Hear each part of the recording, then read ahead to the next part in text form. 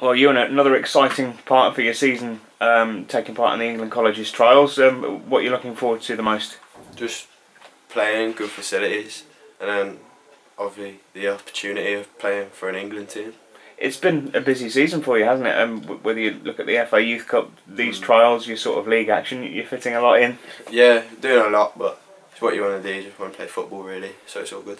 And how do you look back on your season? Not obviously playing here at Aggborough in the FA Youth Cup was enjoyable. If you had to yeah. sort of sum up what you've done so far, how, how would you go about it? Well, obviously the FA Youth Cup was good the first round playing here at Aggborough, played well, and the second round didn't go as we wanted to, but that's just how it is. The league's alright. We got a young team. A lot of us are first years, so hopefully we'll just get better and better. How do you think that experience will benefit you? Because, like you've talked about, played lots of football, but played lots of different types of football as well in, mm. in your first year, so it can only yeah. help. Well, we play properly, we play on the floor, good football. So hopefully next year, as the physicality comes in, we can compete with more teams that play longer ball and keep progressing as a team.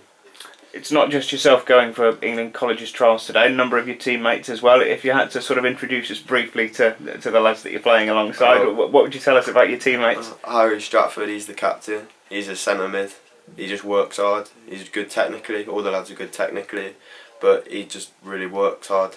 Puts challenges in. He's not afraid. And then Tom Smith and Reese Taylor Randall, they're both wingers. They're just tricky with their feet, good to get at people, do shots, crosses. And then Kurt's the centre back, and he's just solid. He can play centre mid as well, right back. He's just a good player as well. And the one thing I note from you know, speaking to the academy and the youth guys this season, it's the same in the first team, and it's a good group of young lads who enjoy each other's company as well. There's a good mix yeah. in the group. Yeah, we have good banter between the lads. It's good in the changing room. At first, we were like split up first years, second years, but then we've like got together now as one team, and I think we're starting to play better together as we start to become better mates off the pitch as well.